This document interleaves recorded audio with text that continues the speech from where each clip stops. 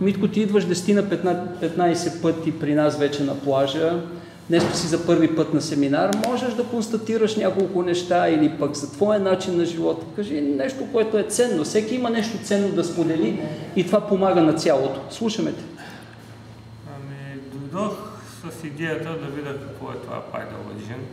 Чувал съм и реших да опитам естествено да не се доверявам на приказките, колко е хубаво, защото не вярвам а, някой да се радва да го шляпат, нали, да кажат много е хубаво. Аз реших да, да дойда, да опитам. Okay. Определено мога да кажа, че се чувствам като цяло по-добре, въпреки шляпането. Така.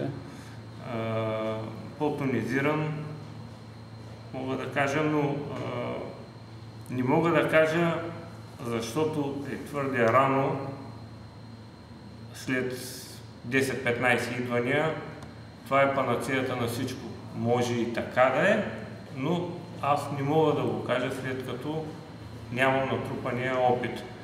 Дали ще имам натрупан опит, времето ще покаже.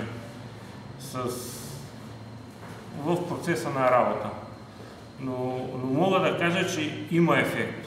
От цялата работа има ефект и смятам да продължа. Ясно. И сутрин на плажа. Да, сутрин на плажа. А 5-часовото занимание сега горе-долу как ти се отрази? Доста добре. Доста добре. Чувствам се зареден.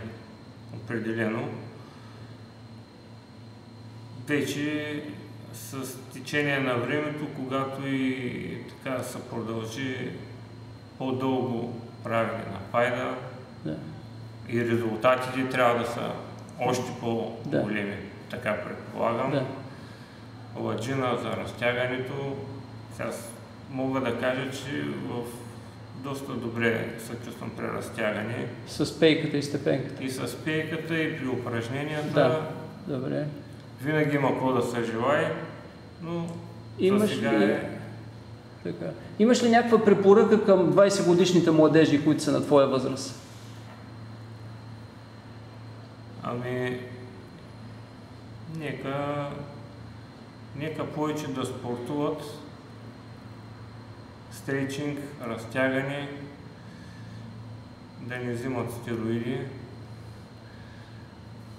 да ходят на лостови, ако това им доставя удоволствие.